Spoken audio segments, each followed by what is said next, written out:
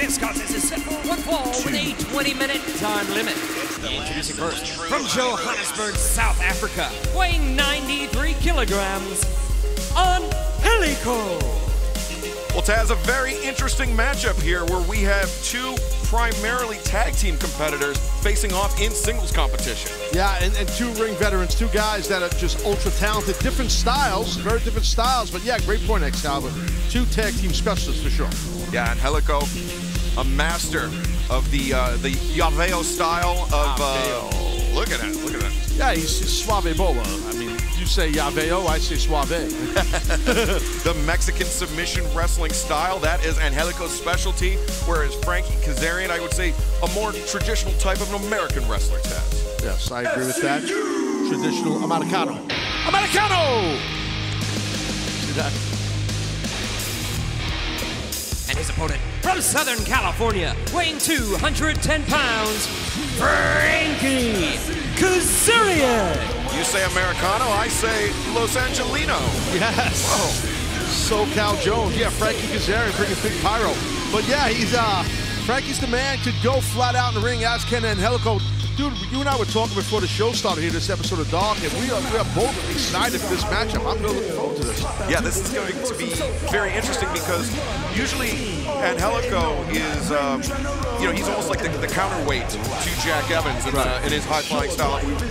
We get to see what Angelico, you know, his mastery of submission wrestling kind of in spurts, but it's all in an effort to, uh, you know, kind of enhance Jack Evans' offense. Right, right. Good point. I mean, yeah, you know, see, and the thing too is, you know, like, uh, someone's going to have to, you know, you're getting different styles. So no matter what fashion or what, if it's American strong style or Japanese strong style or lucha or whatever, whatever style or catch, whatever these guys are going to do with each other, you know, I think there is a clash, which makes it really intriguing of a matchup. And Taz, I mean, I think it's academic, but whichever guy is able to bring this match into their comfort zone, I think will have a distinct advantage and maybe come away with the win. Agree, agree. You see Kazarian right there getting control of that arm and breaking down Angelico by stepping in the back, the crook of his knee to get Angelico to a knee, and nice uh, counter by Angelico. You can see Angelico bringing that uh, that wrist of Kazarian very close to Angelico's chest. Real smart how Kazarian looked to see where the rope was, and nice in, inside drop toe hold, floats right over and gets himself an armbar from the opposite side, which is uh, can really put a lot of pressure on the joint. And you saw Kazarian actually, as he transitioned over, he swept his body in front of the ropes to prevent Angelico from uh, reaching for the break, but it looks like Angelico opting to uh, try to maneuver his way out of it. Does. Drop toe hold there, floats Yeah, over. His own drop toe hold, exactly. And a nice counter. Quick uh, move, go behind right here, and maybe we want to sit out if you're Kazarian, but I guess Angelico figured he'd do that. Hooked the front headlock, now traps the tricep. Maybe going to tuck him. Yeah, oh, there yeah. you go. Brings That's him it. over, covered lateral, press barely a one count. Great way to turn your opponent to the back is just tucked from the tricep with a real deltoid as you pull ahead, uh, you know, to maybe get a quick win. You see that a lot in folk style wrestling, uh, you know, high school wrestling, collegiate wrestling in America, you know, where you can get a quick one count, well, one pin, one slap. It's not three slaps, as most know, to, the, to the canvas. So that's a good way to get a pin. And Angelico, again, with that wrist of Kazarian tied up. Top wrist lock. Top wrist lock. Oh, nice counter. Look at Kazarian. Oh, gives Oh, up over. Yeah. Yeah. Good job right there. Sweep of the leg, and Angelico covers.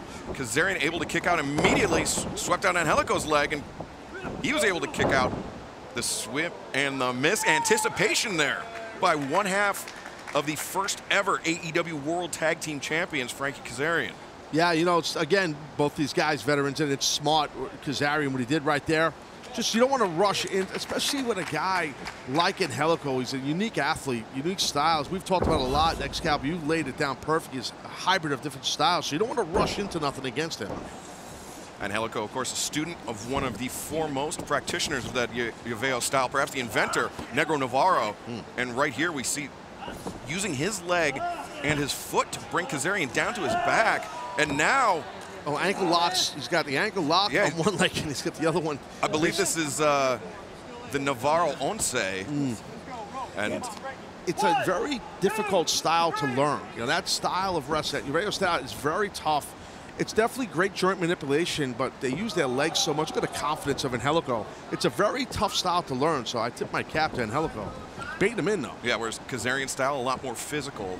Um, you know, using your power, using your strength advantage. But Kazarian, no slouch there, rolls him up. One, two, whoa. Good quick roll up right there. and goes behind.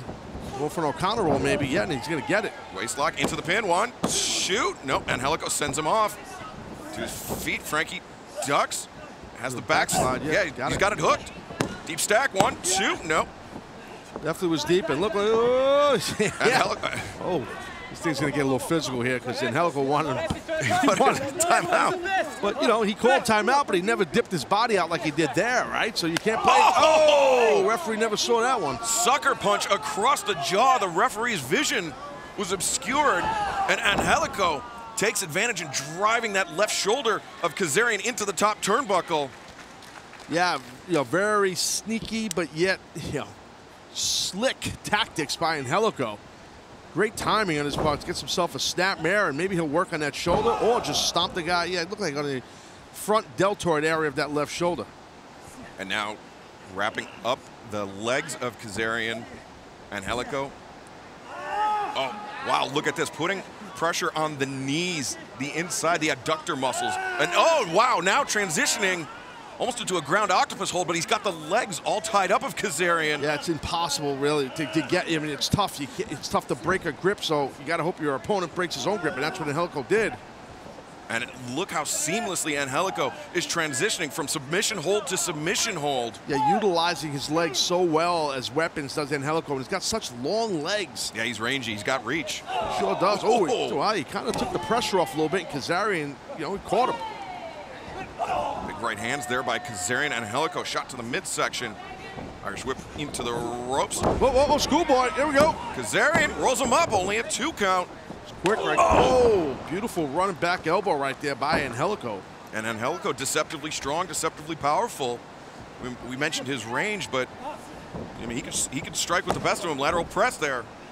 Yeah, no, he can. He's got a lot of poise too, doesn't Angelico? You know, and it's like you know you pointed out the top of this match. Just uh, paraphrasing what you said, but it's it's not often you see him in a singles matchup or Kazarian. So it's, it's again, this is this is a treat. This is pretty cool right here. These two cats. And Angelico reverses, steps through, rolls Nice. in. Kazarian. Yeah. Oh wow, look at that. Almost like a single leg crab, but he's got the Exactly. Well, he had himself a single leg and then rolled him into just clasping his hands and just pulling that knee joint up- i- i- into each other. the knee joint, and he's got such a deep hook on it. It's almost pulling on the quad of Kazarian as well. Yeah, he just uh, Angelico is just awesome at dissecting the man's lower body, which you have no base, you have nothing, and no matter how tall a guy is, either if you work on that lower body well enough, you just you eliminate. You know, he's you know, drop him to the mat. And you see, Angelico was stomping the shoulders of Kazarian too, so it's almost kind of kind of like dealer's choice. Yeah. Angelico could go after the, the upper body or the lower body of Kazarian at either time. It's uh, it's a tough defensive position to be in, Taz. Well, no, you're right, man, and that's the thing. Whoa, whoa, whoa, oh, oh, Kazarian lands to his feet. Big right hands. Two, three consecutive shots to the jaw of Angelico. Switch and Kazarian comes back, takes Angelico off his feet, and chops him down with the back elbow. And the drop kick for good measure. Excellent momentum built quickly by Frankie Kazarian. Just dropping Angelico left him right here. Scooped him up. Plain old-fashioned body slam right there. And now Kazarian coming off the middle rope, leg drop. Crashing down, Here we go, here we go. far leg. No. Nip and tuck right here. Neither man wants to give anything. They don't want to give an inch. This And we- is, I'm sorry, continue. We were seeing uh, Angelico taking control, like as we alluded to, Taz. He, he was wrestling his kind of his match, and now Kazarian with more physicality. Nice counter. Maybe counter. right? Beautiful. Oh, whoa, look at that nice sweep. Missed it though. Wow. Stepped Damn. up, caught him with that And enzuigiri inside Well, package. cradle. Yeah, he's got One, two, no.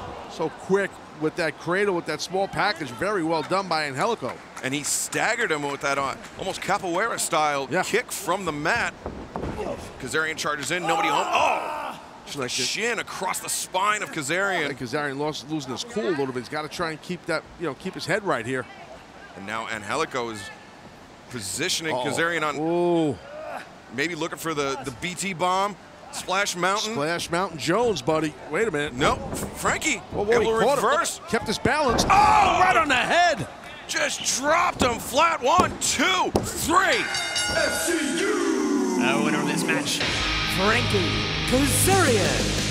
Frankie Kazarian with that big reverse DDT two weeks in a row, Taz. Yeah. Picking up impressive victories here on AEW Dark. Yeah, it's a quick way to drop some. Watch the replay. I want you to watch Angelico's head, ladies and gentlemen.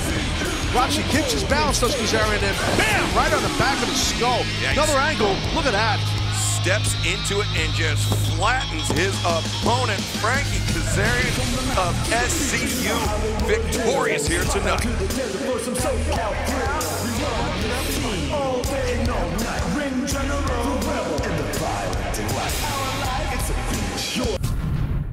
He was willing to risk it all I'm Chris Jericho, and I the first AEW World Champion. The man continues to reinvent himself. Form the most powerful faction in professional wrestling today. We are the inner circle, baby. And Mastermind, one of the most talked about matches of the decade. The Stadium Stampede match. Now, the Demo God is ready to reveal the most anticipated rematch of the summer. The Mimosa Mayhem match. Revenge is better served freshly squeezed. AEW presents All Out live Saturday, September 5th at 8 p.m. Eastern, only on pay-per-view.